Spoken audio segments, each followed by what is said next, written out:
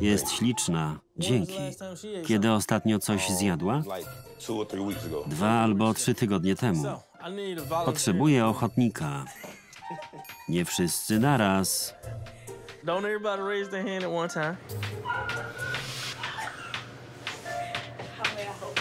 Can you go Jak mogę pomóc?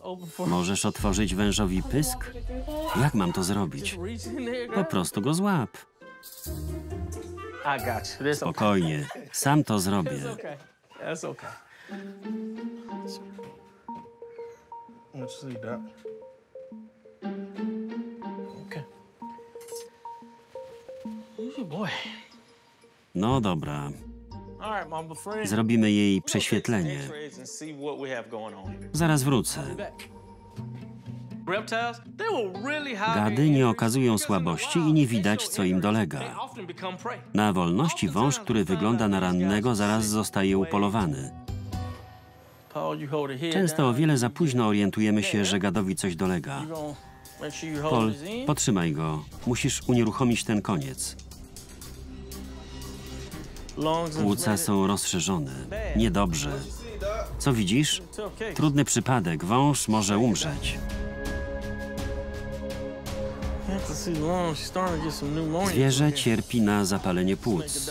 Może umrzeć. Mam nadzieję, że wykryliśmy chorobę na czas. Zapalenie płuc jest dla węża bardzo groźne. Często bywa śmiertelne.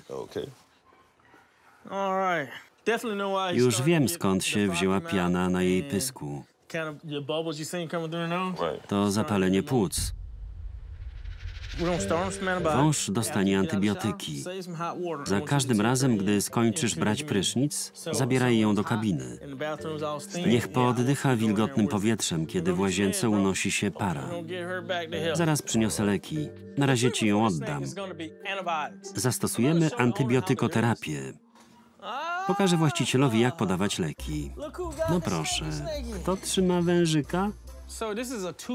To robota dla dwóch osób. Nie dasz rady wstrzyknąć mu do pyska odrobiny leku?